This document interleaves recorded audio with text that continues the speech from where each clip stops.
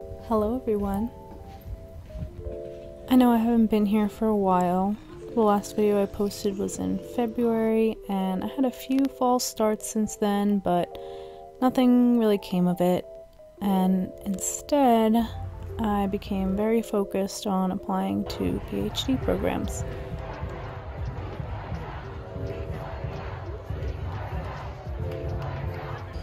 I studied for the GRE and then I didn't send the scores. I was working on a paper, I was working full time as a research assistant. I went to a conference to present a poster, and I submitted applications at nine schools for clinical psychology programs.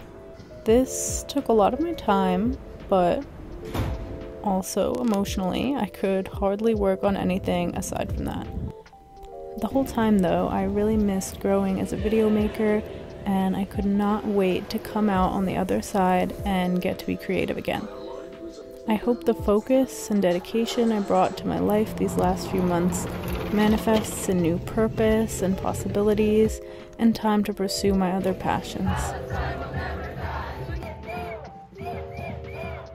I'm praying that I'll have good news soon, and I hope you'll join me then. I wasn't